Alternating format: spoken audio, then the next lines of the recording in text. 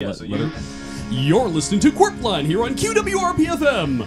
QWERPLine this week is brought to you by the Oracular Gentacular Spectacular. When you have no idea what to make for breakfast, try consulting the, the Oracular Gentacular Spectacular because food is sustainacular.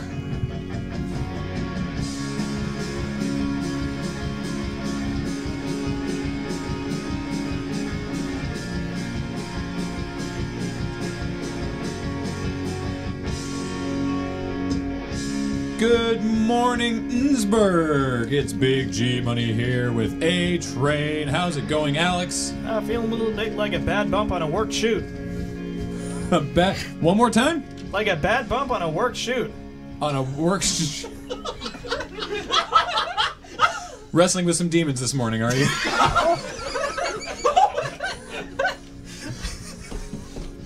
I'm hoping to get to work on that lariat. Terrific. Well, I hope everyone's having a, a pleasant morning out there in scenic Innsbruck. Just slip it on and see if it feels good.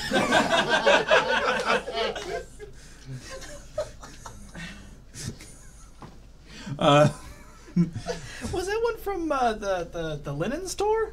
That was no, that was that was one of the Innsbruck town slogans. I, there there may have been a there may have been a yet further clerical error. Oh dear, they Yeah. really got to work on that filing system. Uh, and now the news. No, we actually do this every time. We have that. Oh, there we go. Yeah.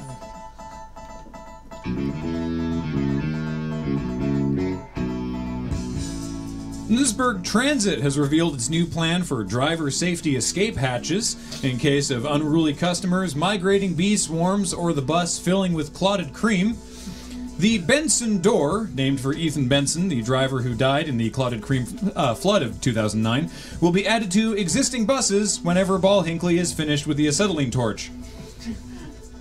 And a warning from Innsbruck PD of a bear sighting in the town square. Citizens are being urged to keep their distance until Innsbruck Park and Game can tranquilize the animal and transport it beyond city limits.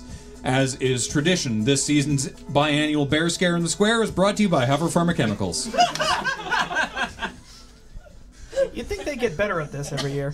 well, they've finally started selling uh, uh, selling uh, uh, branded binoculars, so you can watch from a safe I don't, distance. I don't really think that's the problem, but uh, No.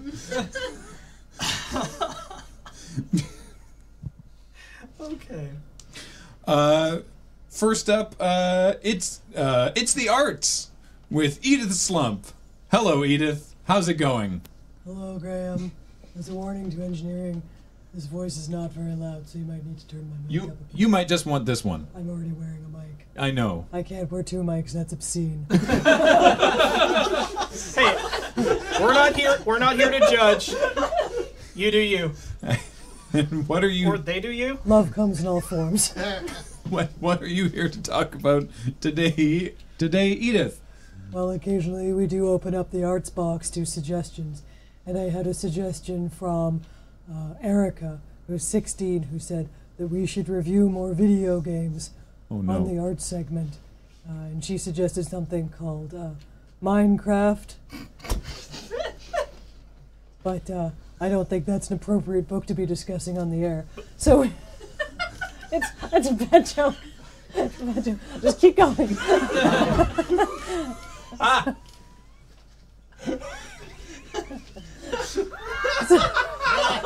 Roll on through, guys. That really took me a second. Took the chat 30. yeah. So I decided I would head down to the local blockbuster and see what they had in store. That's our uh, local historical site, isn't it? That's right, the plaque is still on order, but it's the last surviving blockbuster in the contiguous Americas. As opposed to the non-contiguous Americas. Don't sass Hawaii again, Alex. I can't deal with the letters. Gus likes getting the letters, but I can't deal with them. All right, so I went down to the local blockbuster and I asked the very nice clerk there uh, what uh, what games the kids wanted to play, and uh, he gave me an option of two. One was Sonic Forces, but I am allergic to hedgehogs, so I thought I better go with the classic title. Uh, and so uh, he asked me what game system I had, and I said, I think the station has an old Sega Genesis from a Christmas party uh, 10 or 20 years ago. I'm not a video game person, but he assured me that Shaq Fu was something all the kids are into. he assured me that this was a very good video game and that I would enjoy myself very much. Apparently, it stars former NBA superstar Shaquille O'Neal. And I uh, I guess he never have retired to make video games or something. And and and and did you enjoy it? I mean, I don't really play video games, but I did find the uh, the story quite compelling. The gameplay, however, left a lot to be desired. I uh, I legitimately don't know, Edith. What what is the story of Shaq Fu? You save a young boy named Nezu from an evil mummy named Set Ra. I swear that was a Thundercats pilot. Wait, I haven't watched Thundercats either. I feel like I've been wasting my art's time reading like classical literature and listening to classical music when there is all these undiscovered treasures over in the blockbuster.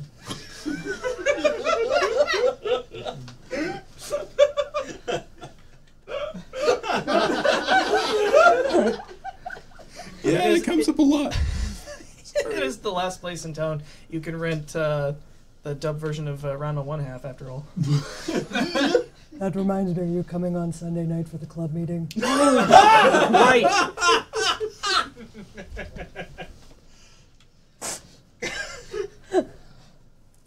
yeah, I, I got a I got an LD of uh, Urusei Yatsura that I can bring over. Gus will be so excited. oh, he's coming. All right, so uh, based on my limited experience with video games, I give Shaq Fu two thumbs up. I don't really know how to evaluate them other than that, but I'm sure no child would be disappointed to see the local Blockbuster's copy of Shaq Fu under the Christmas tree this year. I don't think that's correct, but I appreciate your input, Edith. Anytime. Uh, next week, I'll be back with another video game. Did you know the Spice Girls made a video game? I did not. the not. man at the Blockbuster assured me that it was very popular. Who is this guy, and how do we stop him? All right. Wait, ask me if you have any, if I have anything else for the others. D- d- Right. okay. Do you have anything else? No. It's a running gag. Thank you. Check. Thank you, Edith. Uh, and uh, now, uh, oh, also in the studio. Yes, yes. On the vague sheet of running sheet of the show that Gus handed me just before we started. Uh, look, Is that a napkin? yep, And he wrote on it. Oh, guys, In I'm getting ketchup. more organized every day. yeah, yeah. He uh, he. I don't know why he didn't use the crayons that they provided at the at the diner. Or, you know, the paper. That would have been considerate. Yeah, we should really talk to Gus about that. But um, next is uh, I don't know why we're inviting her back, but uh, L- Lorna Schlitzwhistle is here. Oh. Oh, good. Hi. Hello. Oh, Graham and A-Train, it's so good to see you. Did you get the beautiful shipment of mandalas I sent you? The last time we spoke, I felt that there was an evil spirit in your deep freeze, and I was very concerned for you. Also, maybe some of the baseboard heaters in your basement, and occasionally, but not in every one, of the wood panels that you put into the garage. Uh, I felt in true Buddhist tradition we should uh, return it to the void, so I did. The That's very holistic of you. the freezer was just some very old eggplant casserole. Was that was that Derek's lunch? I, it hasn't been for months. If it if it was originally. He needs to stop using the fridge for the weird stuff his mom sends with Hang him. on, somebody in the office is using that fridge. I mean, has I I don't. I have a theory. As you can see, ghosts are all around us, leaving their unmarked Tupperware. Shoo shoo, evil disruptive spirits. But peace be with you, namaste. Ghosts, Michael O'Leary, one of those. They're impossible to tell apart sometimes. Both of them appear at random out of cupboards. That's his front door. I resent that fact because I live in a closet. I can hear them now. Those terrifying ghostly visages from beyond the door.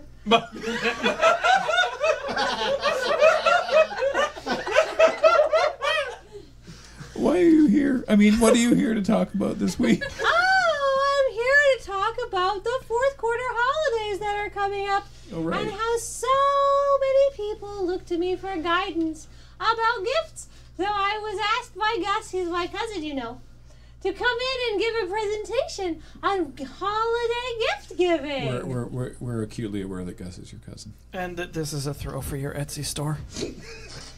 www dot colon slash slash etsy dot com slash Lorna's crystals for all your crystal and dreamcatcher needs. What, what about the holidays, Lorna? Well, I could suggest everybody gets a beautiful dream catcher, but that seems perhaps a little bit self promotional, don't you agree? I'm experiencing Yes. emotions. I so I would I'm taking the moral high road and I'm saying do not buy dream catchers for Capricorns or Cancers. They would be much better served by a set of decorative salt crystals. For the Taurus in your life, they're born under the strong earth sign of the bull. And they need something more practical. Something connected to the earth that they draw their strength from, such as an iron shovel. That's actually useful. Yeah. Huh. Or a set of coordinated necklaces made of graphite. That's more like it. Graphite is extremely good at cleansing the spirit and the mind and eight of the 11 chakras. Eleven? Does the iron shovel help chakras or against ghosts? No, but that's very good if you want to put in some rutabagas into your garden in the spring. or turnips. I think that all you should just plant whatever you need to plant. Don't you don't need my guidance for that. So, do you think I should get Michael a, a, a shovel? Uh, well, I don't think he has a yard, Uh, that's a good point, actually. but I feel I need somewhere to bury my waste. the other thing that you can do. I thought you were using the bathroom beside the break room. So did I! I've decided to go more holistic. No. Oh no. We might be needing that shovel after all. Now, I feel like these are very su- these are suggestions for people without problems. But what if somebody you know who has the numerology who is has the numerology number of five is being pestered by fae and merry folks from beyond the That sounds like an extreme hardship. It happened to my aunt. It was at worst annoying. I can't imagine what that must be like. Well, all your milk turns into sour cream. No matter how fresh, no matter even if you don't want sour cream or if you do. If you do have sour cream and you're like, perfect, now I can make a stroganoff, it'll turn back into fresh milk just as you're going to go put it in, and it just ruins your sauce. So those those fae folk, they're very tricksy. But you know what repels them is cold iron. So you get some iron circlets, some iron necklaces, or maybe just some iron filings to sprinkle around your door frame like diatomaceous earth for bugs. Or an iron shovel? No. Why would you think that would work? How have you not been pestered by the Fae before? Because you said they need cold iron is bad for them. if your I Ching sign is like two lines and a broken line and then two other lines.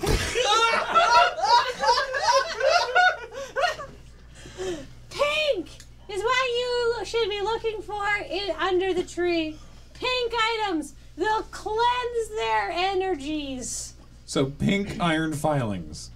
No, and not unless they're being pestered by the Fae. Oh. Which is not as a common problem as you think, but it's common enough I thought I would mention it in the in the spirit of public interest.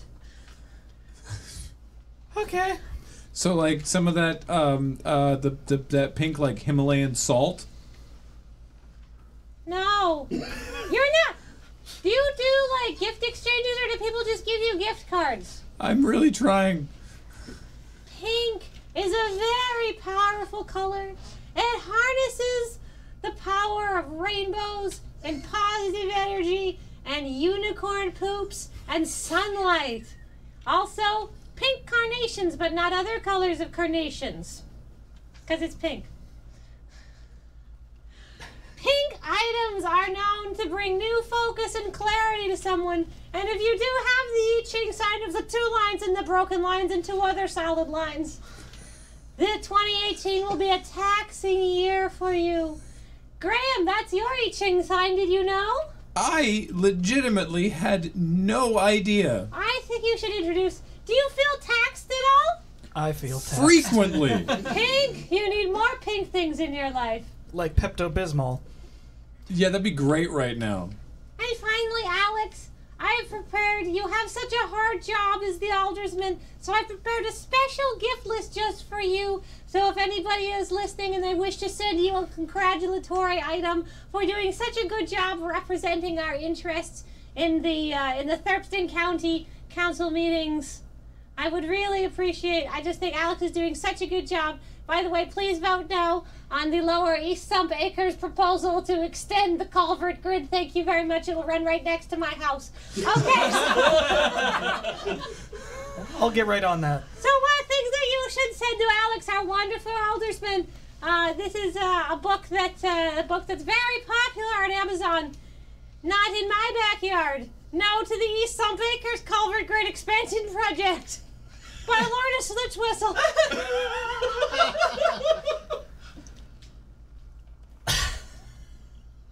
Thanks so much for coming this week, oh, I Lorna. have more. No, Oh, I bet. we are out of time. I'm so sorry. Goodbye. Thank you very much. Namaste. Namaste. Yeah, yes, I wish you would namaste at home as well. Speaking of people we are reluctantly associated with as the result of this show, it's time for traffic, and we go now to Richter Hammock Slam up in the QWRP Traffic Quopter. How's it going up there, Richter? Hard to tell, Graham. I am currently still on the pad at the moment, waiting for instructions as I believe they are flooding it for me to take off. Flood. Flooding what? The helicopter pad, Graham. Otherwise, those boosters could liquefy the concrete and those below, causing untold amounts of damage. Richter, a bunch of line items in our budget suddenly made a horrible amount of sense just now. And I'd like you to lie to me about what they are. Oh, those are just precautionary measures. Are they? We don't want to cause any more damage to the building, and I couldn't get a loan large enough. You see, when you need more money than you currently have, if you make a smart enough sounding proposal, and you're a public figure like me, people will believe you. Oh boy. You know we're live right now, right? Yes, which is why I need just a few more minutes to get things started here. Could you. No, please. We need to stop his countdown or get to minimum safe distance in a big hurry. It's okay. I have had a look at the documentation for this surplus Buran shuttle. Oh no! It Seems like you should be at a minimum safe distance. It only mentions a radius, not whether that radius is lateral or vertical. I think it's spherical, and I think we're in great danger. Uh, you should be fine. Oh, I should mention. Did Edith get my copy of Ranma One Third? Michael, do you have any fire blankets? It's a hilarious hentai parody of. Oh, gotta go. I've got a brace for this one. Back to you, Graham. I'm so happy that we are not incinerated right now. Ground control to Major Tom. Please go away. Um, I look forward to hearing what the traffic is like in the upper troposphere. yeah, that's going to be really useful for people trying to get to work today. It will be exactly as useful as his normal report. You're not wrong. It's prob you're right. It's probably we're probably safe because of all that asbestos in the roof. Oh, thank goodness for terrible safety standards. Okay, in a moment we're going to go to the phones, but I just very quickly wanted to remind everybody listening at home that if they donate $9.05 in the next 11 minutes, they'll be entered to win a, a life-size Morgana from Persona 5 Amigurumi, which you can see here. If you weren't on the radio, Yes.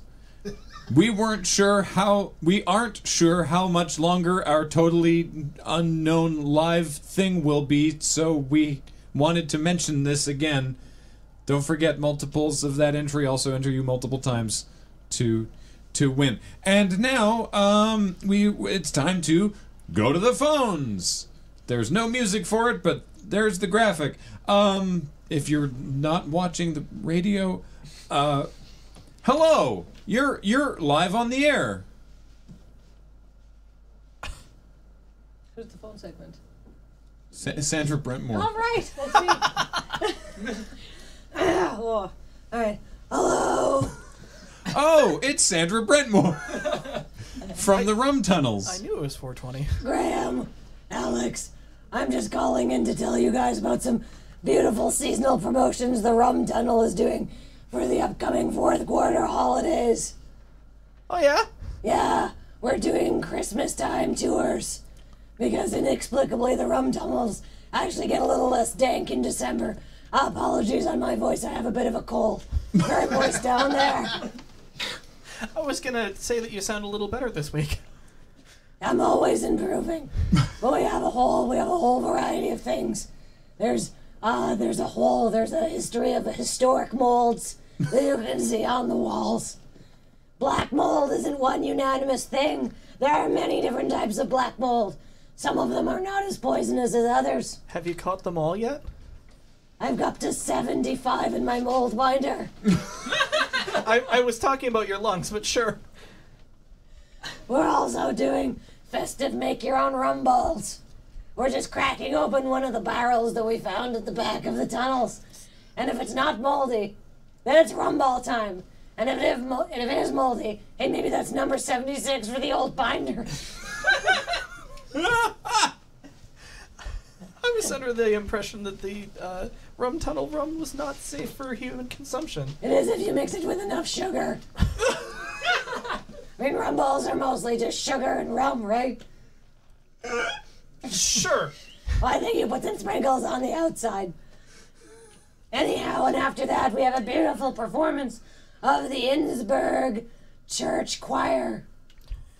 They're going to be singing the traditional fourth quarter carols. That sounds lovely. Yes, I'll be participating. Oh, good. I've been told I have a lovely singing voice.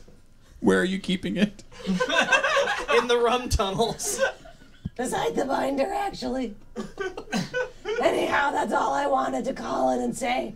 Because this voice is actually murdered. I can't do it for that long. Well, there we go, everybody. If you're looking for something to do with your family this holiday, Come on down to the rum tunnels. It's not as dank as you remember. Check out the tunnel of balls. This Christmas, fourth quarter. Good heavens. if you're uh, looking for other fun stuff to do with uh, the family, why not try a new hobby? We sent Derek down to the uh, Model Rocketry Club and Science Center to see what they're up to these days. How's it going, Derek? Hi, Graham. Hi, Alex. Hi, hi, Derek. I'm enjoying my time here at the Rocketry Club so far. Um, I, I even got all dressed up today. I put on a NASA man's tie, and then I put on my, my big fake nerdy glasses because I thought that that would help me fit in with everybody down here. Um, and so far, I think it's worked very well. I'm here with uh, I'm here with the Rocketry Club president, uh, Victor von Bonbon. How are you doing today, Victor?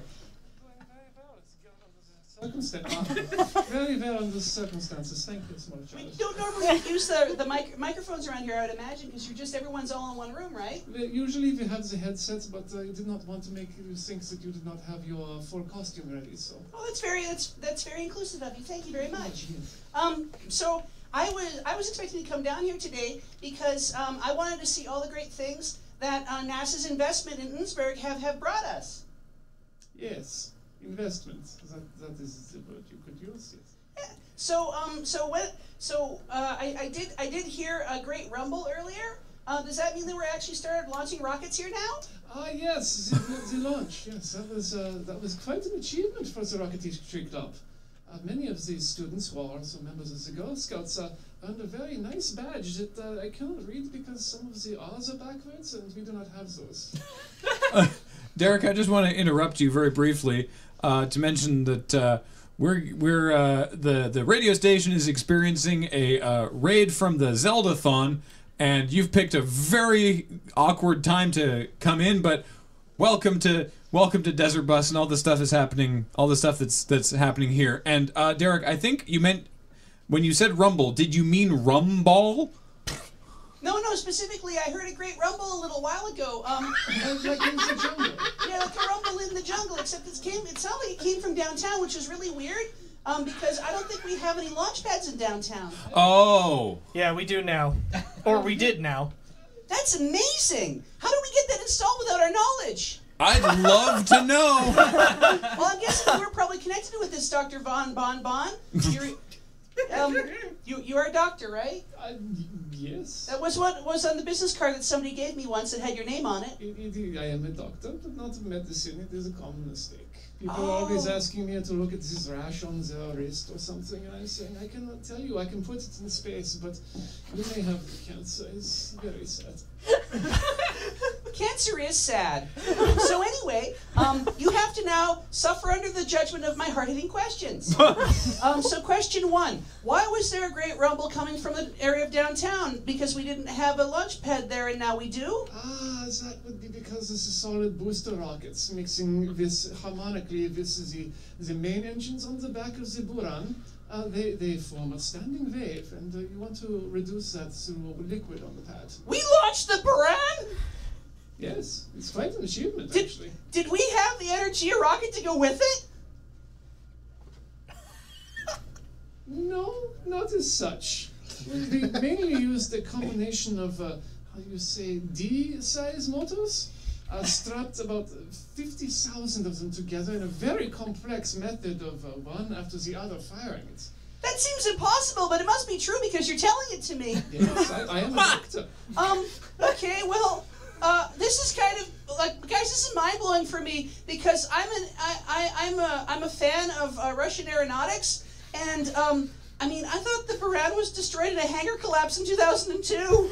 Could you ask the doctor to speak directly into his microphone? yes, I'm sorry about that. It's very far. This is wild. I don't know how we could have possibly got. Did we get it on surplus? Are we allowed to have it in whatever country Ernstberg is in? When you when you do not have enough money for something, and you ask people for more money than you have, if you give them a distinct plan, and you are say a public figure like a doctor, then they will give you that money. And then you can purchase uh, used Buran. Uh, the, the Buran was chosen simply because it is a, a lower cost. All of the space shuttles they are owned by the Air and Science Museum, and they. The rider on the insurance is just insanity. I I can't even imagine that it's spaceworthy. Like, did you launch it unmanned? Can confirm he did not. Oh my God, that man is doomed. Oh no! God willing. Oh darn! Not at all. Not at all. You see, there's atmosphere, a surprising, a surprising amount of breathable atmosphere, very high up.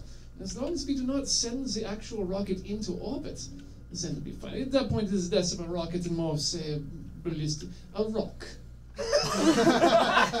It's, un, it's unpowered. Yeah, you're right. That's it is more of kind of a giant metal rock at that point. But in the hands of a skilled pilot, they may be able to land somewhere, in, if they're lucky, find an island in the middle of the South Pacific.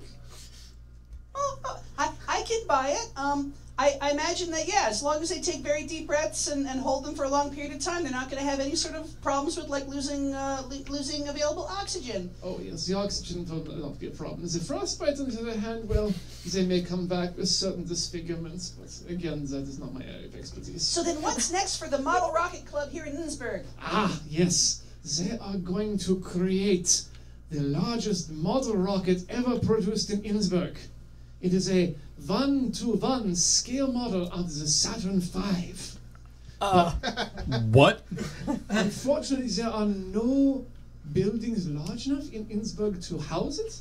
So they have, uh, what do you call them? The, the round tunnels. It's being constructed inside of these tunnels. And I, as long as there's nothing flammable down there that could possibly be ignited by a rocket going off, we can be looking forward to a test uh, firing of the engines perhaps later on this week. Uh oh. That sounds very encouraging, actually. And despite the fact that the Innsbruck Rum Tunnels are, are a historical treasure and should not be molested in any way at all, I'm looking forward to see what science is going to bring us. Back to you, Graham and Alex. I think that the doctor maybe needs to reevaluate the words due diligence. I think I need to reevaluate my job. Where can we find that's got lots and lots of asbestos around it? The school? Oh, perfect. All right, we're gonna go hide in the school, and that takes us up to the break. Uh, when we come back, uh, or wait, yeah, hit that music. There we go. When we come back, an Innsbruck PD bulletin to really, actually, please not approach the bear. Frederick from Innsbruck Park and Game is still getting the traditional sedation suit on, and he'll be there as soon as he can and an exclusive interview with Innsbruck's infamous cryptid, the Dogeman. What makes him tick, and can we remove it surgically? Stick around, more QWERPLine after this. You're listening to QWERPLine here on QWRP-FM. Thanks again to our sponsor, the Oracular Gentacular Spectacular. When you have no idea what to make for breakfast, consult the Oracular Gentacular Spectacular. It's an obscure part of vernacular.